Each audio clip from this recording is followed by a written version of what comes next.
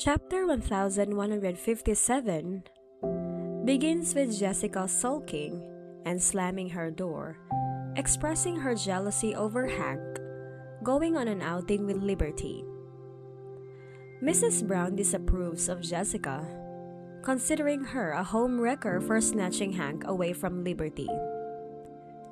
Nevertheless, the Brown family decides to go to the zoo the following afternoon, accompanied by Sony and Liberty. Meanwhile, Serenity and her husband return home after spending time at her sister's house. Serenity expresses her frustration with the Brown family, claiming they never truly helped raise Sony despite claiming to love him. She recounts the exhaustion she experienced while taking care of her sister and the newborn Sony, often sacrificing her own rest to tend to him. Hank refused to ask his parents for help, suggesting Serenity should take care of her sister and nephew.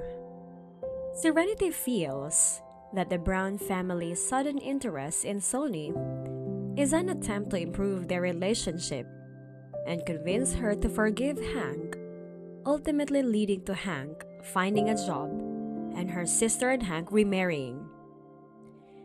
Serenity and Zachary see through their plans and remain skeptical. They believe Duncan, Zachary's friend, still needs to figure out his feelings. Upon returning to their villa, Zachary and Serenity encounter Duncan's expensive car, blocking their path. Duncan coincidentally steps out of the car and approaches them. Their driver and Jim, who is in the passenger seat, recognize Duncan as Mr. Lewis. Zachary realizes the irony of discussing someone and then encountering them in person.